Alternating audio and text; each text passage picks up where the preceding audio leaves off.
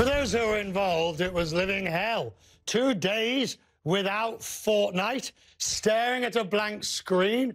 Well, now Fortnite's back online and it has a new chapter. Users began to panic on Sunday when the old landscape blew up, dragging players into a black hole, literally. The hugely popular video game now features a fresh landscape and previously unreleased weapons. Paul La Monica is with me. Paul, I've spent the break, the commercial break, learning from my uh, younger and more nimble colleagues about how to play this uh, uh, this game. Uh, but I, I, was very taken by what you told me earlier. This was risky of Fortnite to go dark while they prepared for the, or was it really? Could they always have, could they almost have known people would come back?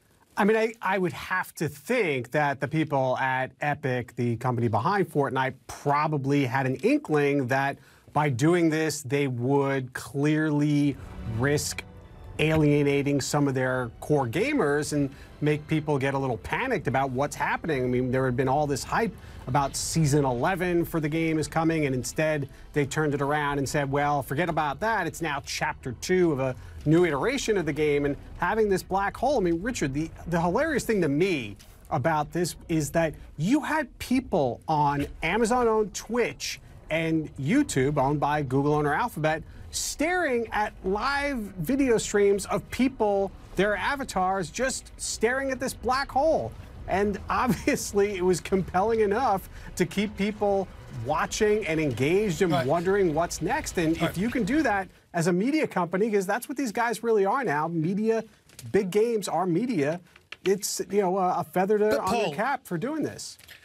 Paul, I, I, we talked earlier, I was just learning, of course, that there's no entrance fee to play, and the only revenues come from these various accessories that Epic sell you to play with the game. But they're not essential. You don't have to, to pay a penny to do this, but apparently everybody does, and that's, the, uh, and that's where the money... It's a, it's a very strange business model.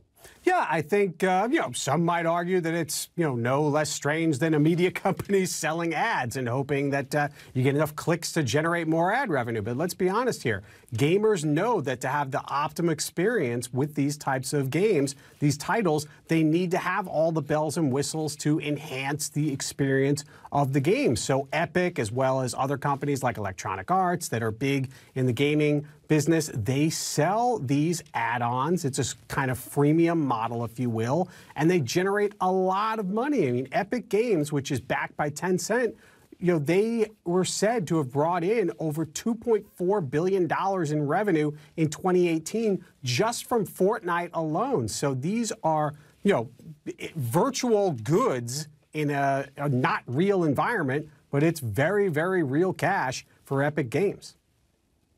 Have you played it? I have not. My kids, fortunately, don't play it either. They just do all the dances, which I am not going to embarrass myself by replicating on live TV.